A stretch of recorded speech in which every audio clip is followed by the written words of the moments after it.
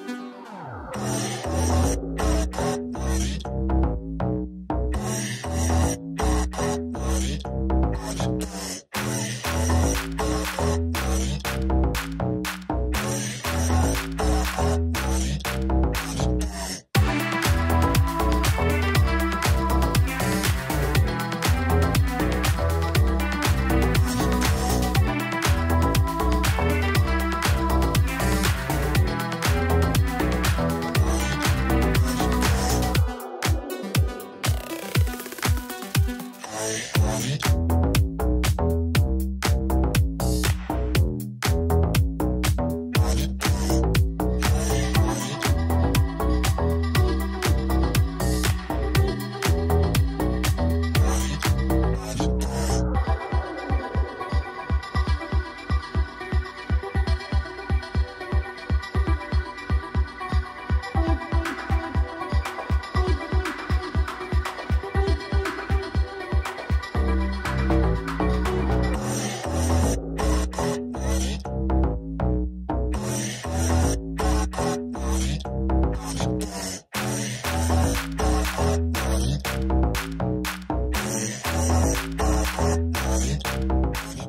Is Shindy. Um, I'm the owner of Shop SHNDY Jewelry based in Toronto, Canada. and we are a family-owned business. This is the second generation. So my family comes from China, and in Asia, jade is very popular actually. I'm wearing one over here, I'm not sure if you can see. So jade is worn for good luck, money, and also happiness. And they become more green as you wear it. So the jade is uh, very well loved in the jewelry and crystal industry. So we created our own modern Western uh, tradition traditional take with the Eastern style to fuse to bring to North America and now hopefully Europe. But we started because um, my friends wanted jewelry for prom and basically since my parents being jewelers i could bring the connections to them. So that's where it started. And then it went from there to become more of a crystals and jade uh, eastern meets western collaboration. Yeah, you're going to see a mixture of rings, necklaces, uh, jade bangles, which are very popular too. Everything is handmade, and this uh, collection is more significant because it features level A jade, which is more expensive but better quality. Everything is hand cut, made from Burma, Taiwan, or Myanmar, and it's localized from the artisans, so everything is very all about quality and also about manifestations. My biggest advice would be to just start your own business. This is my full-time job now. I work just once or twice a month and I'm able to bring a stable income for myself. So just do it, don't think much of it and just be bold, but also don't be afraid to be unique. That's why I think my company has been doing pretty well because we're very unique. So be bold, be indifferent, but also just just go for it. Don't think much of it.